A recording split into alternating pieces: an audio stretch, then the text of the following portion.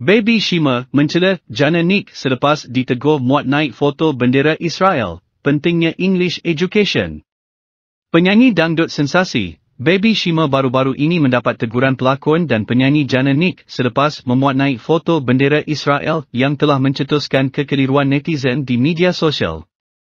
Menerusi posting yang telah dipadam oleh Instagram, Baby Shima dilihat memuat naik foto bendera Israel bersama kapsion Zais halus yang mendoakan agar Israel dibuang dari bumi. Diteguh Jana Nick. Posting berkenaan turut mendapat komen oleh Jana Nick yang memintanya agar henti melakukan konten yang sememangnya tidak boleh dibuat bahan jenaka. Stop buat konten macam ni. This is not a joke. TQ, komen Jana Nick.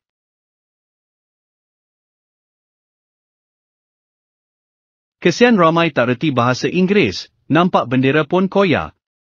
Kembali memuat naik hantaran yang sama, Baby Shima meluahkan rasa kasihan dengan orang ramai yang tidak memahami bahasa Inggeris sehingga melenting apabila melihatnya memuat naik foto bendera tanpa memahami maksud sebenar. Posting semalam IG dah take down. Eh jangan aminkan Fadzil Zahari. Nanti jangan ni kecam. Pentingnya English Education. Kesian ramai tak reti bahasa English. Nampak bendera pun koyak. BTW posting tadi IG take down.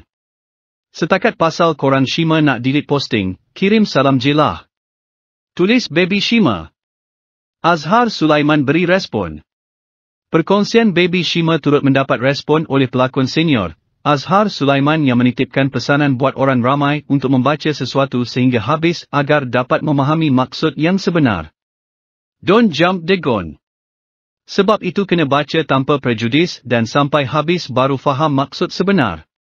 Benci biar bertempat, jangan benci sampai sendiri dapat mudarat. Komen Azhar Sulaiman